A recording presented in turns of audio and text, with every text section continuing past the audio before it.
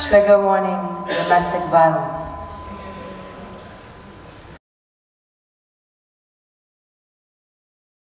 Bandersnatch, Chicago edition. You are a senior in high school on the south side of the city.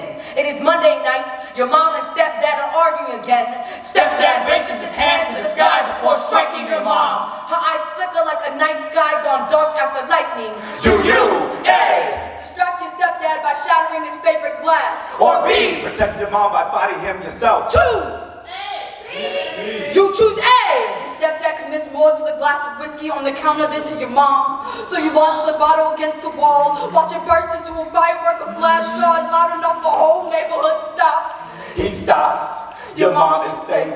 But he transfers his fist to your face like father to son advice. That night you don't sleep, your mom doesn't either. New days wipe away bruised nights like blinks do tears. The next day at school is a game of who can forget home first. You walk into class when a fight breaks out. You almost walk straight by it, but the bystander effect is reserved for white politicians. You've seen too much to turn a blind eye. You can't just stand there. do you, A, Hold them back. or B, Fight!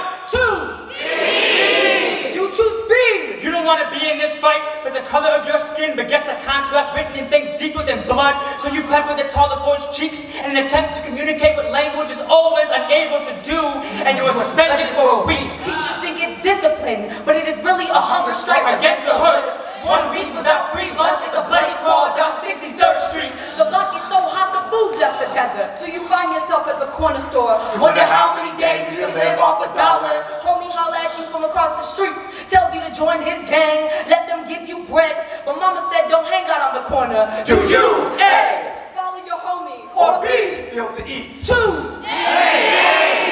You choose B! Eyes lunge immediately for hot Cheetos and red vines, shoving a week's worth of meals into your pockets. You've never stolen before, forget to notice the red camera beaming down on your black body. Charged criminal before seen human.